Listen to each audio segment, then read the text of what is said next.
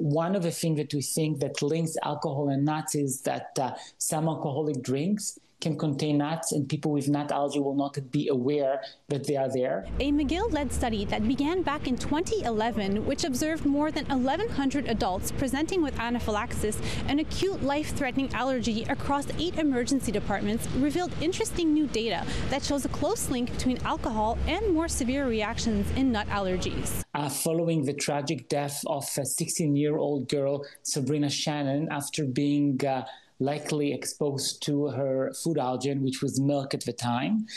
Uh, this prompted Health Canada to contact us and try to get a better understanding of uh, the uh, burden, uh, the management of anaphylaxis, which is the most severe allergic reaction in Canada. The study, which began at the Children's Hospital in Montreal, grew to encompass participants from Ontario, British Columbia, Newfoundland, Alberta, and most recently Manitoba, revealed two main findings. We know that alcohol already worsens anaphylactic reactions. We know it's a vasodilator. We know that anyone who sort of has an anaphylactic shock with alcohol is going to have a more severe reaction.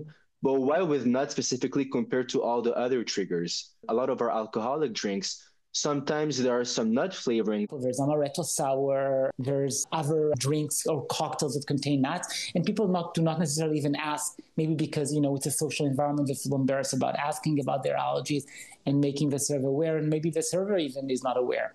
And uh, under 25% of people who had already a previous allergy that was noted, uh, only less than 25% used epinephrine before their presentation to the hospital. So this shows that somebody who already has an allergy and who's supposed to have an epinephrine at home um, didn't use it. And we know that epinephrine saves lives. You know that the earlier you give the epinephrine, the better the outcomes are going to be. Doctors recommend those with allergies learn how to identify the signs of anaphylaxis to properly treat the reaction with epinephrine or how to avoid the situation as much as possible. What I'm hoping for at least is that this study is a sort of domino effect. You know, like we start with this study, we talk about the dangers of nut flavoring and the dangers of not properly labeling alcoholic drinks. And then afterwards, hopefully, more and more people react to it and then there's a sort of incentive that oh in every alcoholic drink there is we have to you know label and we have to be the most transparent that we can be.